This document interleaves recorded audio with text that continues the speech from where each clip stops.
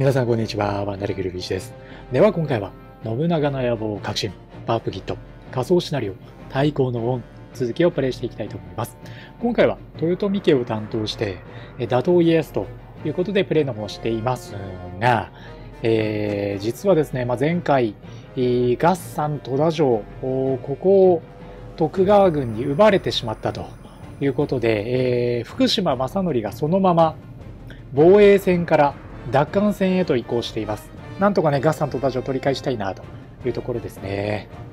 え一方、大和郡山城もですね、たびたび徳川軍が攻撃を仕掛けてきていて、え今回も1万5000の軍で、え攻めてきています。これを真田正幸隊1万を、まあ、5詰めとして派遣してですね、なんとか撃退したいというふうに思っています。では早速続きをプレイしていきましょう。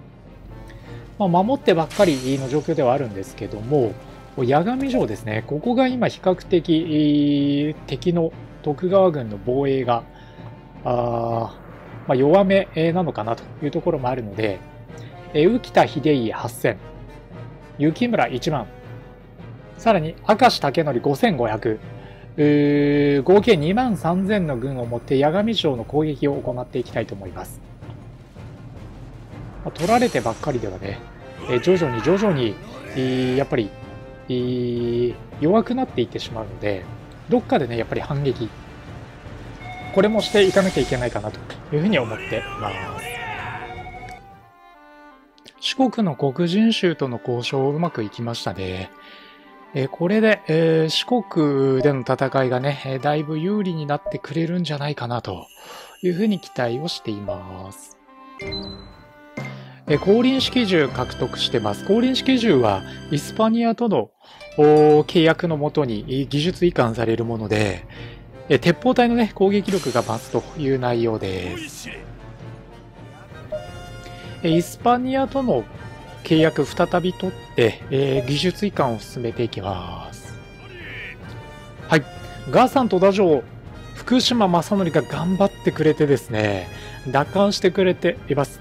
このガサン戸田城はね、えー、取られてしまうと、おまあ、非常に苦しくなってしまう中国地方の戦いがというところだったので、まずは一安心ですね。で、一方ですね、えー、ガッサン戸田城の後、攻められていた大和郡山城の方なんですけども、えー、敵に増援が出てますね。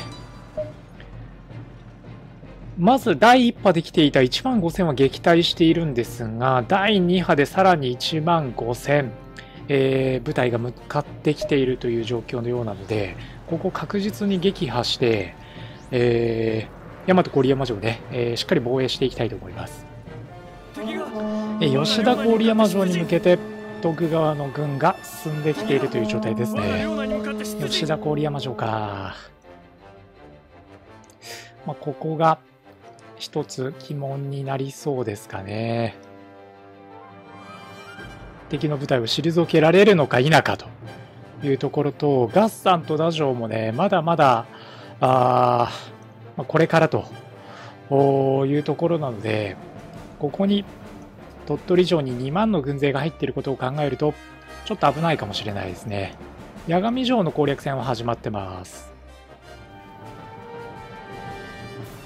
岡山城に残りの兵が、まあ、4000というところかな。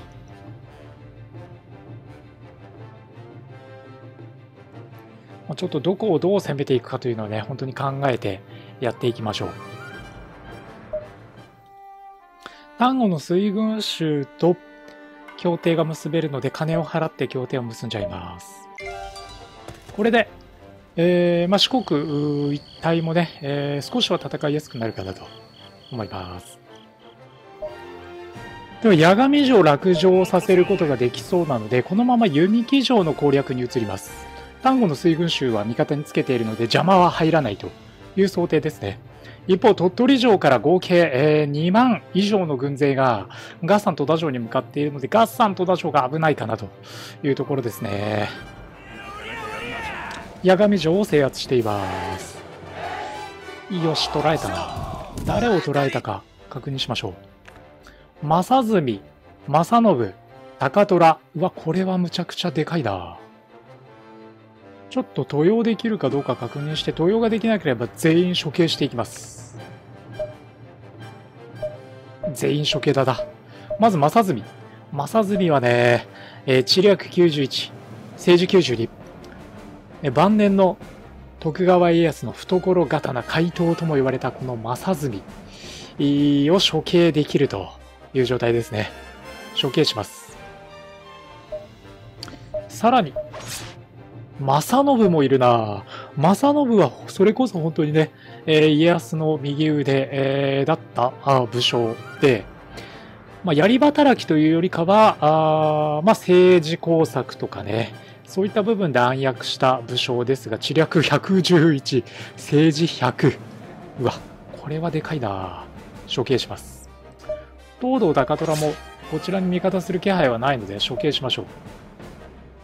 残り2人残ってましたけども、彼らはこの後ね、捕虜交換とかでうまく利用していきます。では、弓木城攻略の方に移っていきましょう。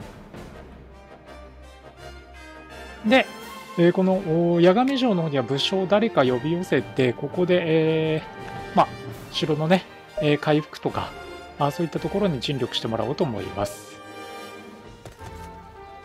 では、弓木城の攻略戦始めたところで、ガッサンとダ城に出ていたあ合計2万3000の部隊が弓木城に戻ってきますね。これ野戦で撃破できれば鳥取城攻略ができそうだな。うまい具合に敵をね、えー、まあ、か乱できているという状況だと思います。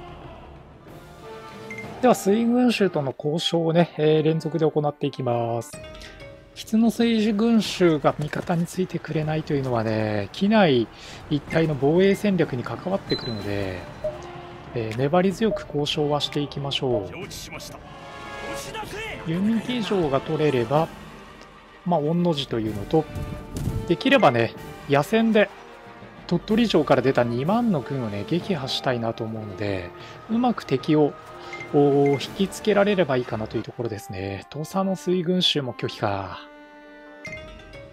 なかなか水軍衆もね、うまくこちらの意図した通りには動いてくれていないという状況ですかね。相馬は金5万で引き受けよう。いや、家康とのね、戦力差というのは広がる一方なので、まあ、ちょっとずつでもね、城を奪って回収して、なんとか戦っていきたいなというところなんですが、これどうだ？弓木城を一度放置してでも、野戦に繰り出した方が良さそうだな。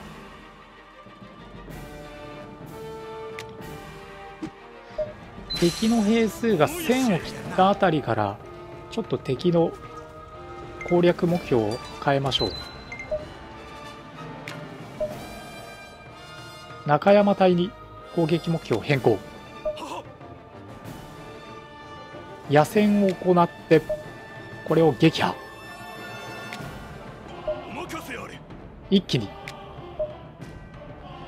鳥取城まで取るというね、えー、作戦に出ます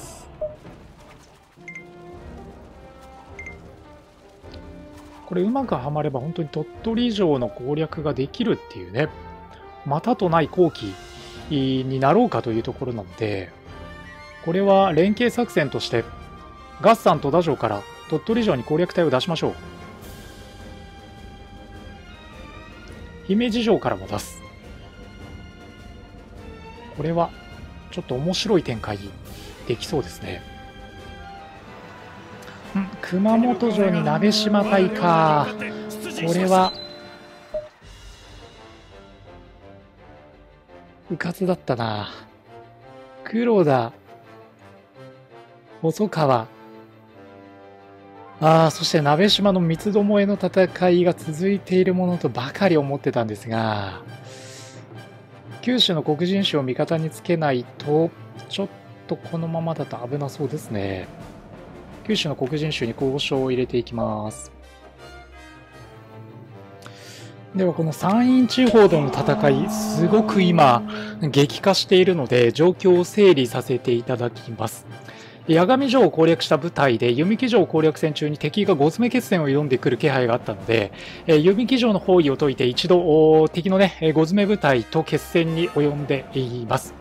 えそうこうしているうちに弓木城に救援隊を入れられてしまって、えー、弓木城がね、復活しているというところです。なので、これしっかり叩いておこうということで、えー、池田照正隊を出して、えー、弓木城の攻略戦に当たっています。で、一方、鳥取城の攻略に、柳生隊プラスアルファですね、今、あ部隊を出そうとしていまして、滋賀隊を出して、合計1万8000で鳥取城の攻略にかかっています。で、五詰決戦で出ていた、あこの小笠原隊と中山隊が鳥取城に戻ろうとしているので、これを真田正幸、明石武則で追撃をかけているというね、3つの城を巡る戦いが今同時に進行中という戦いです。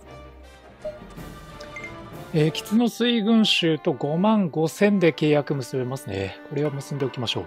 機内の安定化のために必要な出費だと割り切ります。弓木城の攻略完了してます。誰を捉えているか。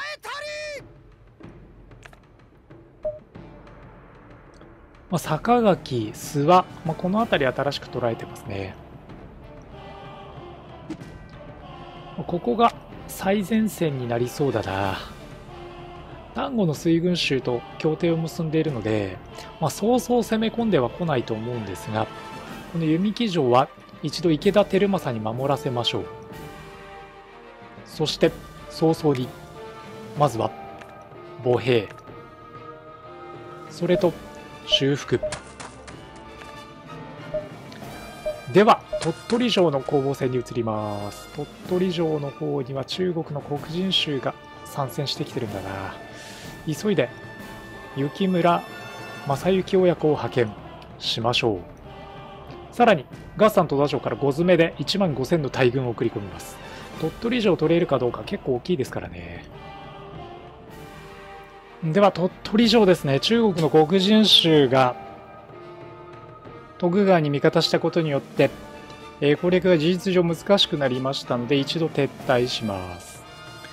まあ、八神城と弓木城が取れたというだけでもね、だいぶプラスの戦果が出たかなというふうに思ってます。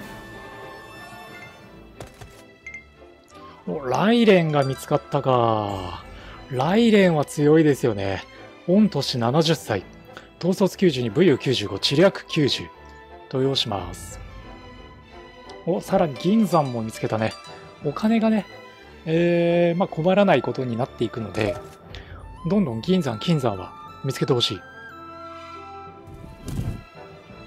機内の黒人種に6万4千も金をせびられるとか。まあ、ただ、機内の防衛には機内の黒人衆がいないと話にならないので、ここは金を払いましょう。で、兵糧がね、少し心配な状況になってます。やっぱり2期作がね、早く欲しいなというところですね。では、2期作取り掛かりましょう。この2期作で米の収入がね、えー、秋と冬と2回できるようになるので、まあ、それはすごく大きいと思います。え中国の黒人種ですね。ここ味方にできるのってできないので、だいぶ違うが6万5千。いや、ここは酒を献上してでも、味方に、えー、引き入れましょう。これで鳥取城攻略に道筋がつきますね。今まで中国地方、つまり鳥取城の攻略にね、えー、中国の黒人種の邪魔立てが入ってうまく進まなかった部分があると思うんですけども、これが味方になってくれるっていうね、逆張りができるので、えー、これが進むと思います。では、中国地方の黒人種を味方につけたので、えー、改めて、えー、出陣をしていきましょう。